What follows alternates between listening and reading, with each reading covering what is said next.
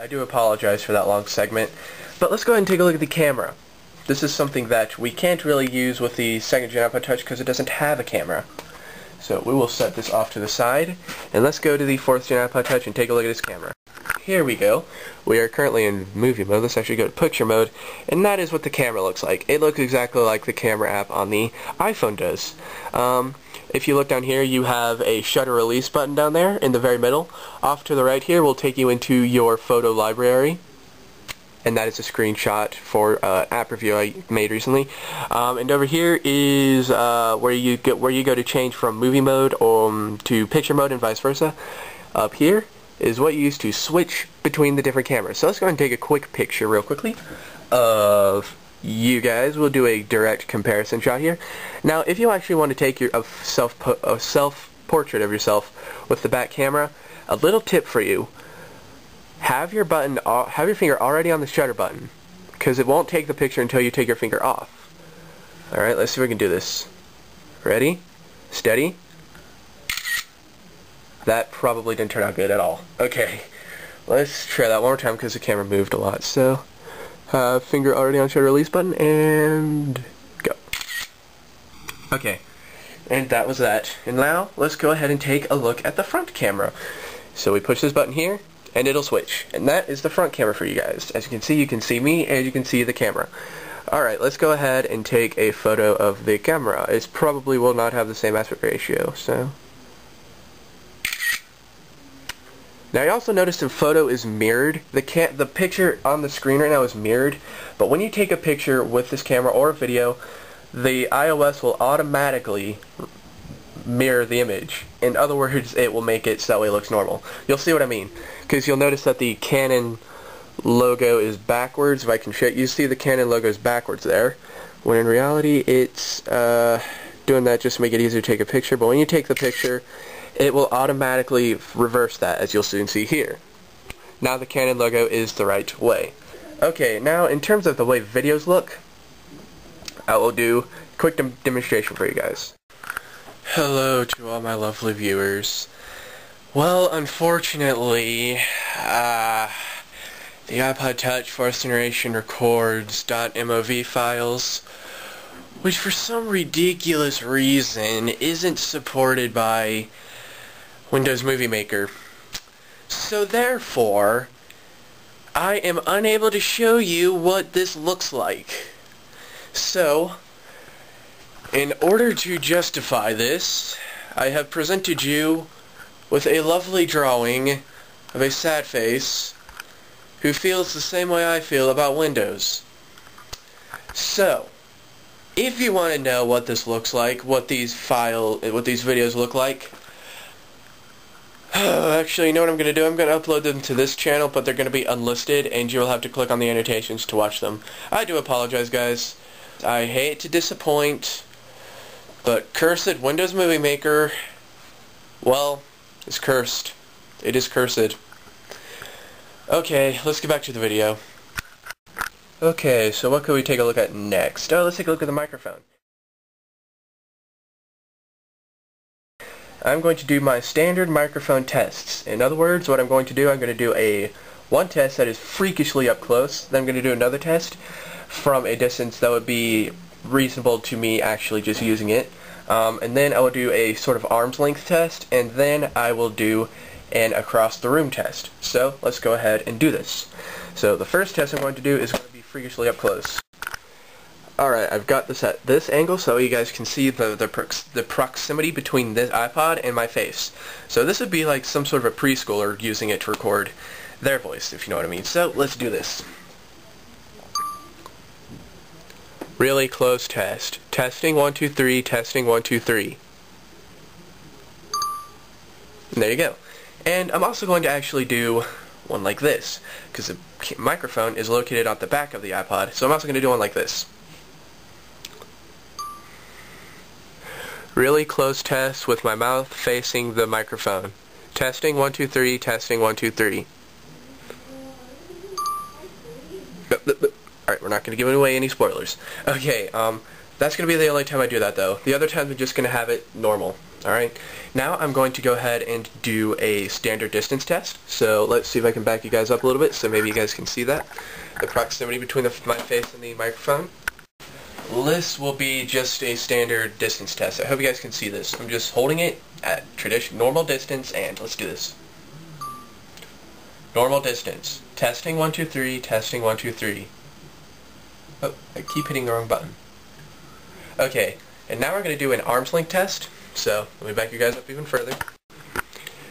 Yeah, I don't think this will actually be proper field of view, but you'll still know. Doing this at arm's length, so here we go arm's length test. Testing 1, 2, 3, testing 1, 2, 3. I hit the right button. And now what we're going to do an across the room test. This would be something like if you're in a class or something and you want to record notes, okay? And luckily this iPod Touch could be used for that because unlike the Nintendo DSi, it doesn't ha it doesn't limit its um recordings to 10 seconds. You can record a clip as long or as short as you want. So let's go ahead and do that. Quickly. Now, if you actually wanted to do a recording of a class or something, um, I, myself, would do it like this. So that's going to be the way we're going to do it, alright? So, let's go ahead and do that. So, uh, I'm going to push the record button, set it face down, then I'm going to go over there and record. So here we go.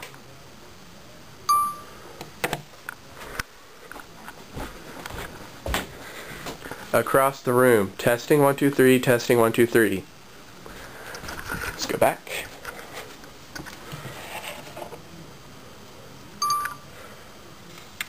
And that's that. So, let's also do one from right here, just because, you know, um, these boxes might have been a variable.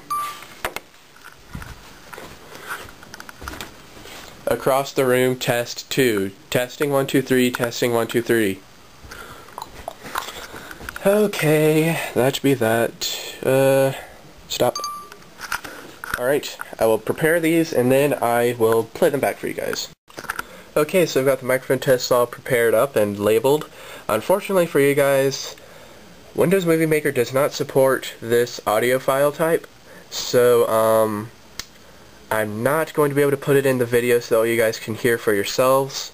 So this is going to be the next best thing I can do. If I can figure out a way though to put these into a separate file or something, or maybe I can publish them to my blog so that way you guys can listen to them for yourselves through your own headphones so that way you can get the full quality, um, then I will figure that out. So this is going to be the best for now, so let's do it. First of all, it's a really close test, and we're not going to do it this close to the camera's microphone, don't worry. It's a really close test. Let's play it. Really close test. Testing one two three. Testing one two three. This is at full volume also. Alright, so that was that one. Let's listen to it with, let's listen to the really close test with the microphone facing me. Really close test with my mouth facing the microphone. Testing one two three. Testing one two three. That really doesn't sound good. Let's listen to a normal distance. Normal distance. Testing one two three. Testing one two three. Okay, that sounds pretty good. Let's listen to the arm's length.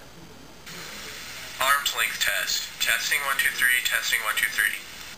And let's do the across the room, take one, which is where I had it behind me, the boxes. Across the room. Testing one two three. Testing one two three.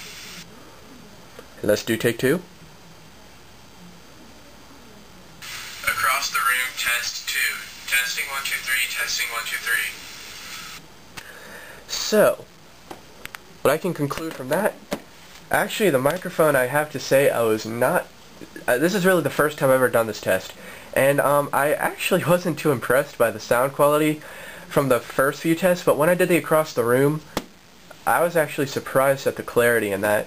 I mean, it didn't really sound that different, and I mean, you guys saw, I was really way across the room. I don't know how long that is, maybe I mean, it's not the longest room in the world, but, you know, it's it still picked it up pretty well. I was actually really, really impressed by that. So, let's listen to that again. Take one of the across the room test. Across the room. Testing one two three. Testing one two three. Now let's compare that to the normal distance. Normal distance. Testing 123, testing 123. They're both as clear. In fact, some, Across the room. Testing 123, testing 123. the only th real difference I can think, I mean, it's, I can hear it just as loud and just as clear. The only thing I can think of, though, the only difference is that there is a bit of an echo in the long in the across the room test, but really impressive microphone. Um, although I do have to say I'm not too impressed by the um, by the closer proximities, but yeah. And of course, you would never have it that close, like you know, super duper close to your face when you're actually recording. So, but that was just there to you know, little kid recording. They like to keep microphones really freakishly close to their face. So yeah, but you know, generally you'd hold about this far, and that's that. So that is the microphone. Is there really anything else I can go through? Well, not really. I well, actually, yeah. Let's go ahead and show you one more really freakishly cool feature on this. You might have heard some people on YouTube talking about this thing's gyroscope. And you might be wondering what the freaking heck that is. Let me show you what that is. So I'm going to go into here. This app that I'm about to show you is a free download. Uh, at least it was when I, yeah, it's free. Um, Gyrorama Lite, Gyrorama Lite. This only works on the iPhone 4 and the iPod Touch second, or iPhone 4 and iPod Touch 4th generation. So let's go and click on Gyro Album. And let's move the camera a bit this way because I need a full 360 view. Let me move this laptop out of the way because it has a name tag on it. Okay, I'm just going to click the first one and we're going to go. This freaks a lot of people out. Alright, here we go, get ready. People love this thing. This is just absolutely super cool. Let's go and get you guys nice and straight real quick. There you guys go. Now, this is what the gyro gyroscope does. Ready? Okay, watch. You see, you kind of see what it's doing already. Um, this is pretty hard to do like this. But you guys can see what it is doing. It's like, that's exactly what the gyroscope does. It's like, yeah, let me see if we can do a better test of this. Alright, so as you guys can see, oh wow, that's blue. I apologize for the blue, but as you guys can see, that is exactly what the gyroscope does. I really do apologize. This is not the tallest tripod in the world.